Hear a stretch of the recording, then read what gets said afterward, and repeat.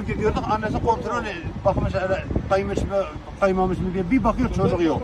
Bir baktım arkada feryat etti. Şevket dedi baba bagaj açılmış. Ömer Faruk. Evet. Annesi deyince durduk. Durduk bagajı açtı baktım kapak açılıyor yani kilitli değil. Baktık çocuk yok. Beraberinde ne düşünmüş onu bilmiyorum.